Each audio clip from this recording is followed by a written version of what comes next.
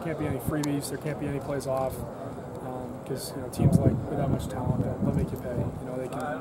Um, the head coach said it today, but I think it's a really good point. You know, if you play when you play a defense like this, you know you can go four or five plays, you know, really good for us. But then if you let one go, uh, they'll make a big play, and, and the drive is, is totally different, or, or, the game is totally different. You know, after that, so really, it's going to be we need great focus, great execution every single play.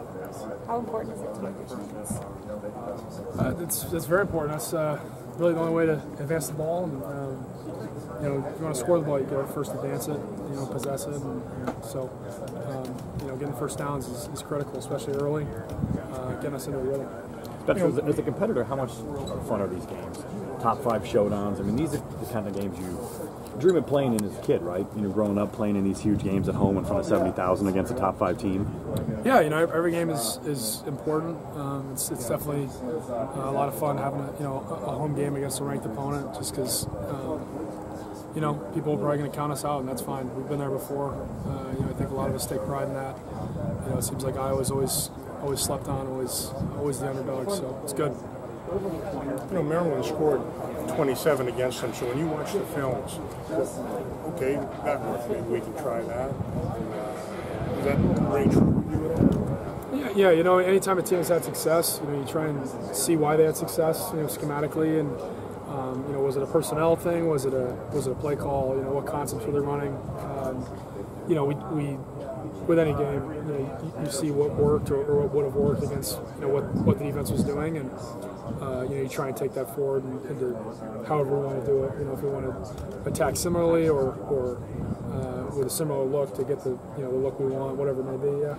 In a typical week, not necessarily this week, but how many hours of film study of the opponent do you think you'd put in an average week? Kind of a Yeah, it is quite a bit. Um, I don't know, probably three, four hours a day. Um, you know, Thursdays and Fridays, a little bit less just because you're you, you got to get a feel for it. You don't want to overdo it. Um, but yeah, you know, probably three, four hours a day. You were a little banged up last year in this game. Does that sort of like sit in the back of your mind at all when you go into this one, or you just put that behind you? Uh, no, I mean it doesn't. I, I was banged up because I was an idiot and didn't slide, um, it got roughed up pretty good. Just um, no, I mean it's just uh, just got to know to be smart when I'm when I'm running the football because uh, you know an extra couple yards, depending on the situation, you know isn't isn't worth the uh, the blows to the body. So.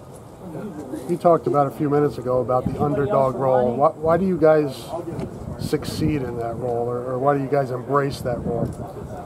You know, I think um, most of the guys in this program, on this team, for the most part, were weren't recruited by Michigan, weren't recruited by Ohio State, weren't recruited by Penn State. Um, you know, obviously there's some that, that probably were, but uh, and, you know, we feel that you know we can play with any team, and I think our program has showed that over the years that um, you know as under recruited as we may be, you know, we still you know consistently are a pretty pretty good football team. So um, I think it's something to take pride in. Uh, and but really, it doesn't mean anything if we don't go out there and, and play well on Saturday. So that's that's the main focus. Do you, do you use last year's championship game as motivation at all, or do you try not to think about what happened in December? Hey, I, I think you know yes and no. It's just um, you know obviously no one wants to feel no one likes.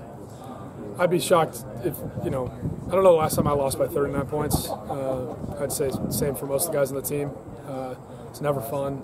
Uh, so in that way, yeah, it's definitely motivation. But um, you know, it's, it's, it's just important to realize that you know 2021 was 2021, and this is a new year. Um, that you know they don't get to carry any of those points over. Uh, it's a new team. Uh, you know they have a new team. We have a new team. So um, the opportunity is all in front of us there. They have a new DC. Is, is their defense any different? Uh, you know, there's some of their down stuff's slightly different, but for the most part, uh, you know they're they kind of found what they want to do. I think, and um, you know I'm sure there'll be some wrinkles Saturday, but you know for the most part we know how they how they want to defend. You know different stuff. Um, yeah, the system for the most part is the same. How have you seen the offensive line? It's a young group. How have you seen them kind of grow day to day?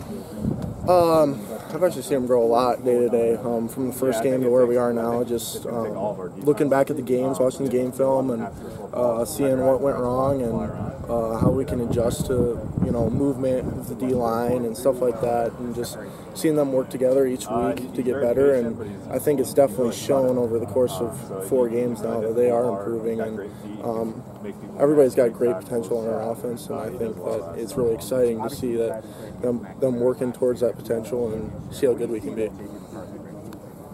Yeah, Harbaugh said something like how Iowa City is where top five teams come to die. What makes Kinnick such a tough place for opposing teams to play?